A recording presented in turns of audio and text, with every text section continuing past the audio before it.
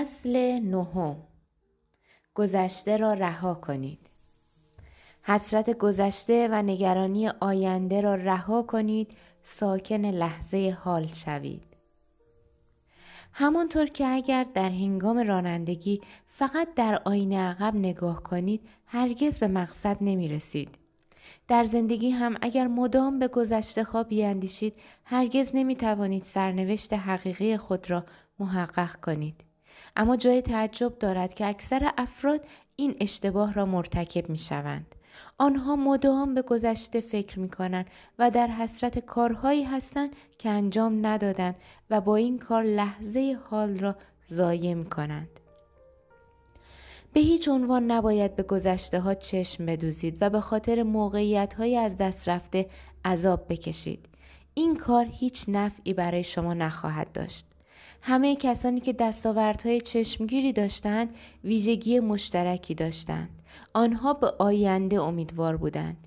آنها هرگز حسرت فرصتهای از دست رفته را نمیخوردند و در جهت تحقق اهدافشان گام برمیدارند. به دستاوردهای این افراد نگاه کنید و کمی بیاندیشید. به لطف تلاش های این افراد در تمام طول شبانه روز از نعمت روشنایی برخورداریم. می توانیم چند دکمه را فشار دهیم و با عزیزانمان در آن سر دنیا صحبت کنیم. این افراد مانند من و شما انسانهای معمولی بودند که به خودشان جرأت دادند و در قلمروی تخیلشان چیزهایی را تصور کردند که تا قبل از آن وجود فیزیکی نداشته. این افراد بلند پرواز همواره مورد تمسخر انسانهای منفی نگر قرار گرفتند. آنها با تمام وجود انتظار تحقق رویایشان را داشتند. ما همانند این افراد از جمله ادیسون، برادران رایت دارای نیروی خدادادی هستیم تا رویاهای خود را به واقعیت تبدیل کنیم. ابزار تحقق بخشیدن به رویاهایمان از جانب خداوند به ما عطا شده است.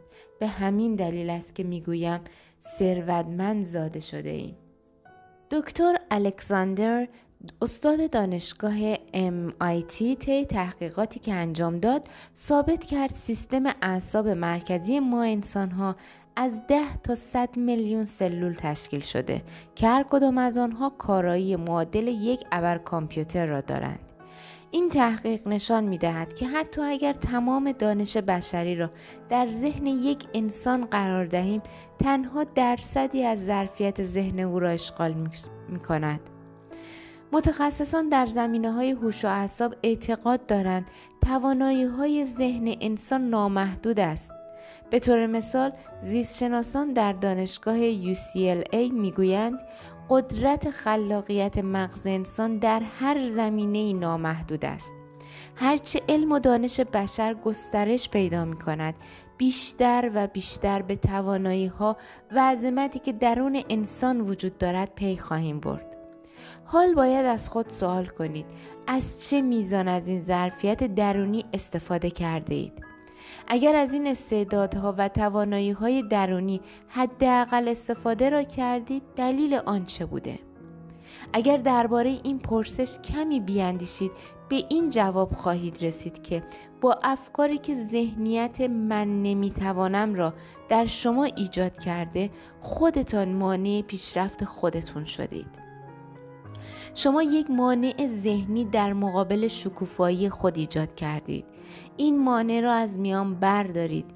یقین داشته باشید. به هر آنچه می خواهید می توانید دست یابید. از طرفی هرگز به خاطر استفاده نکردن از این استعدادهای درونی در گذشته حسرت نخورید. زیرا در سر تا سر جهان افراد بسیار کمی هستند که نسبت به این موضوع آگاهی دارند و عظمت درون خود را متجلی کردند. همین حالا شما با دستیابی به این آگاهی از خیلی ها جلو افتاده اید. ویلیام جیمز یکی از روانشناسان برجسته عقیده داشت که انسانها به طور معمول کمتر از ده درصد از توانایی های ذاتی خود را متجلی می کنند. او گفت اکثر انسان ها از حداقل توانایی ها و استعدادهای خود استفاده می کنند. آنها آنچنان از استعدادهای خود کم استفاده می کنند که می توان رفتار آنها را به شخصی تشبیه کرد که اندامی کامل دارد اما عادت کرده تنها از انگشت کوچک پای خود استفاده کند. شاید فکر کنید در عصر حاضر انسانهای بیشتری به توانایی ذاتی خود پی بردند اما حقیقت تلخ این است که اینطور نیست. در واقع از همان ابتدا که کودکان وارد مدرسه می شوند به ذهن آنها القا می کنند که نمرات آنها در مدرسه نشان دهنده میزان لیاقت و شایستگی آنهاست. به همین دلیل تعداد زیادی از کودکان از همان ابتدا خود را به صورت ناخودآگاه نالایق و شکست خورده میپندارند و در سنین بزرگسالی خود را قربانی زندگی می‌دانند. زمان آن فرا رسیده که این باورهای محدود کننده که ریشه در گذشته دارد ریشه کن کنیم و بر روی پرده ذهنمان تصویر با شکوه از آینده خود خلق کنیم. باید های کهنه را مرهم کنیم و به, و به تحقق تمام خواسته هایمان امیدوار باشیم. همانطور که بارها تاکید کردم هر آنچه را بتوانید در ذهنتان تجسم و تصویر سازی کنید می توانید در واقعیت خلق کنید شما در نهایت به همان کسی تبدیل می شوید که مدام در ذهنتان می بینید پس چه دلیلی داره که آینده شکوهمند را برای خود مجسم نکنید؟ باید از طریق قدرت خدادادی تخیل دنیایی را در ذهن خلاقتان تصویر سازی کنید و سپس با تمام تلاش آن را به واقعیت خود تبدیل کنید. زمان گذشته مرده است اما جالب است که اکثر انسانها 95 درصد از زمان خود را در گذشته سپری می کنند. در فرهنگ ما مرسوم شده که دوستان به دور هم جمع می شوند و درباره خاطرات گذشته صحبت می کنند. آنها ساعتهای با ارزش زمان حال را صرف چیزی می کنند که سالها مرده است. حتی در عمل آنها هنوز در گذشته زندگی می کنند. آنها مدام به دنبال اشیای کهنه و قدیمی خود هستند و می‌خواهند از آنها نگهداری کنند. آنها حتی از یک قوطی کبریت هم نمیگذرند و انبار خود را پر می‌کنند از اشیای قدیمی و به درد نخور. کسانی هم هستند که مدام خاطرات تلخ گذشته را به خود یادآوری می کنند. آنها مدام درباره بیعدالتی ها و حرف های نامربوطی که دیگران درباره آنها زدند صحبت می کنند. آنها برای شکست و سرخوردگی های گذشته خود ماتم می گیرند و افسوس می کنند. این افراد آنچنان در ارتعاش منفی قرار گرفتند که هیچ فکر مثبتی به ذهن آنها خطور نمی کند.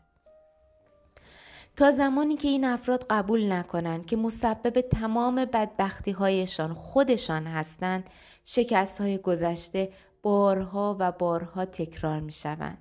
تا زمانی که دیگران را مسبب تمام مشکلات زندگیشان می دانند هرگز موفقیت را تجربه نخواهند کرد. رو راست باشید و شخصیت خودتان را بررسی کنید. آیا شما همانند افرادی هستید که همواره به گذشته نظر دارند؟ اگر این چنین است باید به صورت جدی بر روی خود کار کنید. گذشته را به حال خود رها کنید. هرگاه فکری مربوط به گذشته وارد ذهنتان شد آن را به حال خود رها کنید. تصویری از آینده دلخواهتان را در ذهنتان مجسم کنید و یادتان باشد شما در نهایت به همان کسی تبدیل می شوید که مدام به آن فکر می کنید. من برای فهم بیشتر این موضوع از تمثیل دوربین عکس فوری استفاده می کنم. ذهن شما همانند دوربین است و دنیای فیزیکی شما همانند عکس فوری است. وقتی با این چنین دوربینی عکس برداری می کنید بعد از گذشت زمانی عکسی از تصویر گرفته شده از دوربین بیرون می آید. اگر بخواهم دقیق تر بگویم زمیر ناخداگاه شما همانند دوربین عکس برداری عمل می کند و هر آنچه را که در آن قرار دهید در دنیای فیزیکی متجلی می کند. بنابراین اگر تصویری تکراری را به زمیر ناخداگاه خود بدهید زمیر ناخداگاه هم بدون هیچ قضاوتی همان تصویر را در دنیای فیزیکی شما متجلی می سازد. این کاری است که اکثر مردم انجام می دهند و نمی‌دانند چرا مدام نتایج بد گذشته تکرار می شود. اگر نگاه شما مدام به گذشته باشد گذشته تکرار خواهد شد پس حالا که سازوکار زمیر ناخداگاه را می‌دانید به جای گذشته تکراری آینده با شکوه را در صفحه ذهنتان تصویر سازی کنید. دارم ماجرای دختر جوانی به نام پتی را برای شما تعریف کنم. اولین باری که پتی در سمینارهای من شرکت کرد 11 سال داشت. او در سن 15 سالگی در یکی از سمینارهای من بر روی صحنه آمد و توضیح داد چگونه با استفاده از ایده های یاد گرفته در سمینارها در درس فرانسه بهترین نمرات را گرفته. سن 20 سالگی او در برگزاری سمینارها جزو تیم من بود. یه روز او را سر حال ندیدم و احساس کردم دل خوشی از زندگی ندارد. از او پرسیدم هدف و آرزویت چیست؟ او با تعجب گفت منظورت چیه؟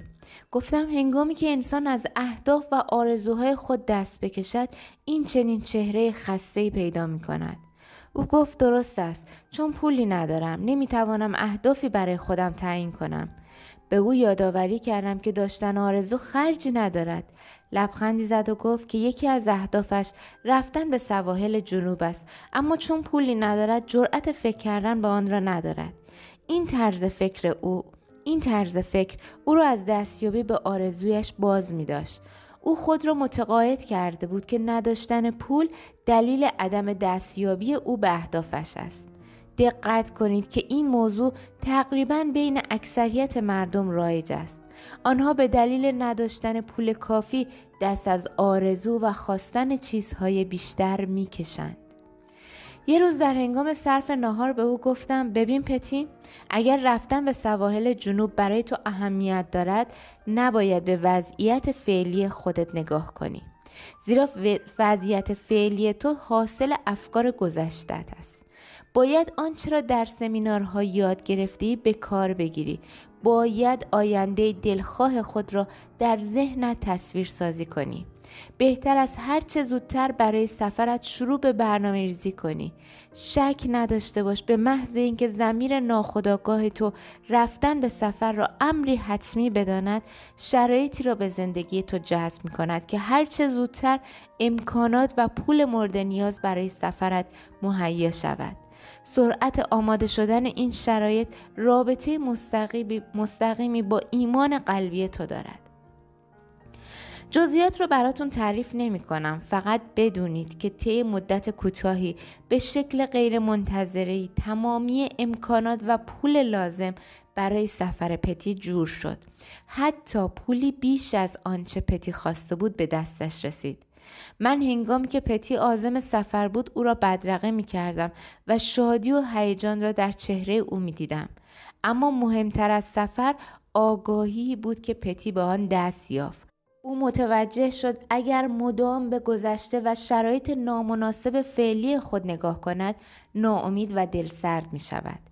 در عوض باید آینده دلخواه خود را در ذهنش تجسم کند و ایمان داشته باشد دیر یا زود شاهد تجلی خاصه خود در واقعیت خواهد بود.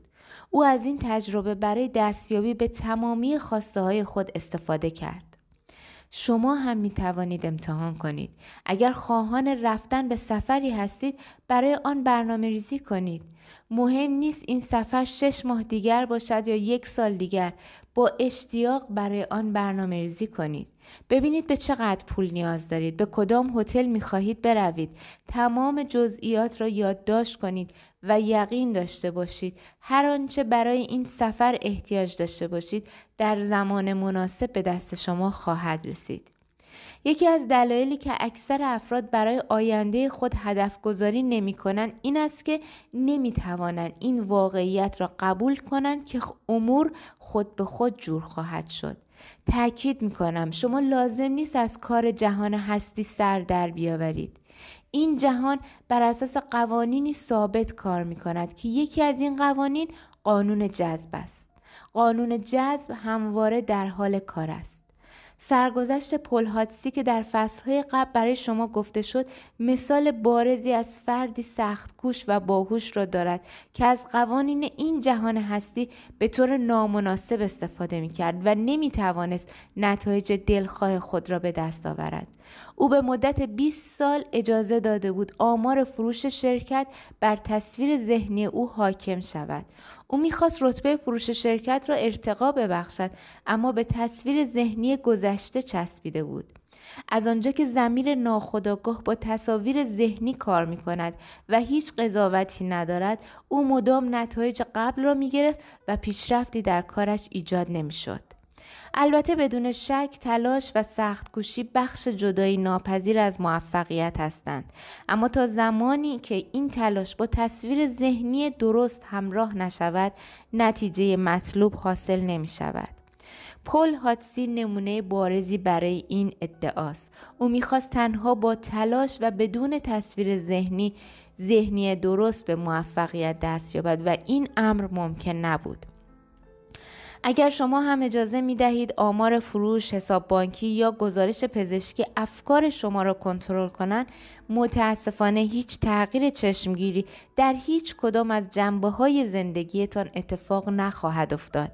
بالعکس اگر شرایط فعلیتان را نتیجه تصویر تصویرسازی گذشته بدانید می توانید همانند پل و پتی چیزی کاملا متفاوت برای آیندهتون تجسم کنید و در نهایت این تصویرسازی به واقعیت شما تبدیل می شود البته اگر اجازه ندهید شرایط فعلیتون تصاویر ذهنی شما را مخدوش کنند.